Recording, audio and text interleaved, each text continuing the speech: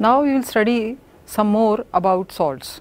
As you already know that salt is formed by the combination of acid and base to form salt and water. So, an activity can be performed by you all.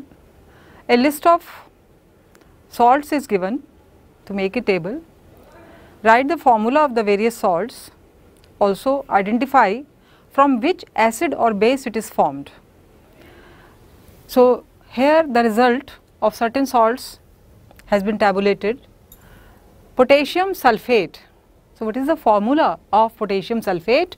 It is K2SO4 and from which base and acid it is formed? It is formed by KOH and H2SO4. Similarly, sodium sulphate formula is Na2SO4 and the base is NaOH and H2SO4. The third salt is calcium sulphate. Formula is CaSO4, base is CaOH whole twice and the acid is H2SO4. The fourth salt is magnesium sulphate. Formula is MgSO4 and the base is MgOH whole twice and the acid is H2SO4. Then copper sulphate CuSO4 base is CuOH whole twice and acid is H2SO4. Sodium chloride, the formula uh, all of you must be knowing it is NaCl, it is common salt used in the kitchen also makes the food tasty without it you can't eat the food and the base from which it is formed is NaOH and the acid is HCl. Sodium nitrate, its formula is NaNO3, base is NaOH and the acid is HNO3. Sodium carbonate formula is Na2CO3, base is NaOH and the acid is H2CO3. Ammonium chloride formula is NH4Cl, base is NH4OH and the acid is HCl. All of you can do this activity yourself Simply write the names of the salts and rest you fill the table yourself. So, it will uh, make you perfect. You can learn the formula also without uh, seeing anywhere, without consulting the book. Write it yourself. Write the bases and the acids from which the salt is formed. Also, another activity we can perform in the lab also and some activity just by sitting on the table from the formula only. And a part of the activity can be performed in the lab. Now here in this table also this has also to be tabulated. The results have to be tabulated. The certain salts are given and you have to write the formula. Now in this first of all you can perform an activity and make a table. Of course you make a table of the salts. Rest you can do later. And make the salt solutions in water, dissolve them and also find out which of the salts are soluble in water, which salts are not soluble in water. So, this activity can be performed in the lab and also you can test whether the salt solution is acidic or basic or neutral with the help of blue and red litmus paper.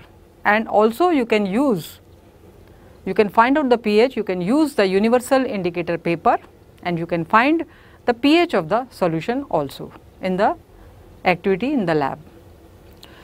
Then you can write, make the table, you can write the formula, also you can write from which base and acid it has been formed. Like sodium chloride, we have done earlier also, it is, its formula is NaCl, it is common salt as all of you know. It is formed from NaOH and HCl. Now, NaOH is a strong acid, HCl is also a strong acid. When you test it with blue litmus paper or red litmus paper, you will find that it is neutral. It neither changes the color of blue litmus paper nor the color of red litmus paper, it is neutral and also the pH is 7. So, both are strong acids, it is a neutral salt. It is the salt of strong acid and strong base. Potassium nitrate, its formula is KNO3. It is formed from base KOH and acid HNO3. Now, KOH and HNO3 both are strong. KOH is a strong base, HNO3 is a strong acid and here also the salt is neutral as in the previous case. So, these are the salts of strong acid and strong base and they are called neutral salts which neither turn the color of blue litmus paper or red litmus paper and pH is also 7. The third type of salt is aluminium chloride, its formula is AlCl3. It is formed from a weak base aluminium hydroxide and a strong acid HCl. Now, when it is tested with blue litmus paper, it turns the color of blue litmus paper to red, showing thereby that the aluminium chloride salt solution is acidic in nature, right. So, these are acidic salts. Base is weak, acid is strong. So, acidic salts are formed by the combination of weak base and strong acid. They are acidic in nature. Their salt solution in water is acidic in nature and these salts also zinc sulphate, copper sulphate are other examples of acidic salt.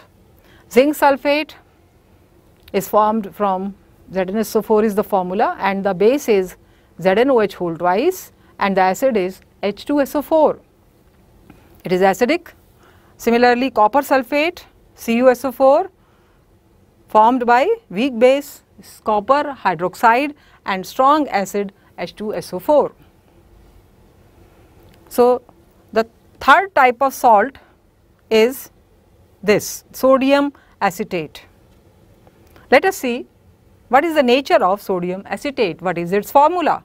Its formula is little bit complicated as you can see. It is CH3COO whole twice Na.